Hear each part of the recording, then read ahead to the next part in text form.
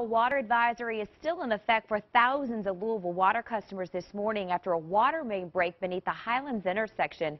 WLKY's Christina Moore is live from the scene for us this morning with the very latest. Good morning, Christina. Good morning. Well, right out of the gate here, I do want to mention if this is part of your morning commute, Baxter and Eastern, you should likely find a new route.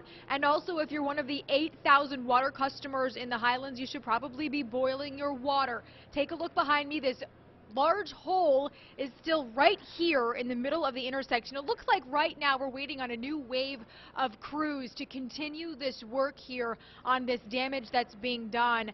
We're taking a look, I hear that chopper uh, above us. We're taking a look from that perspective at this area that's been affected.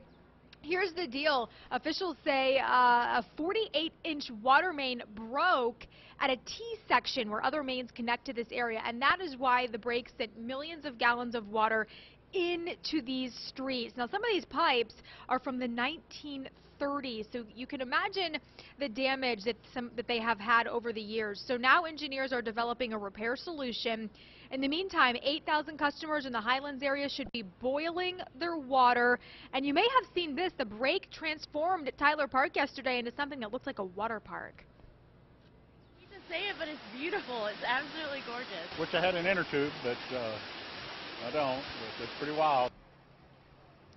Now again, if you live in this area, Tyler Park, the Highlands, you probably had low water pressure yesterday. That is now fixed, we're told, but we are at this point this morning still under a boil water notice. As soon as we learn if that has been lifted or when that will continue to, we certainly will be passing that information along to you. That is the latest from the Highlands this morning. Christina Mora, WLKY News.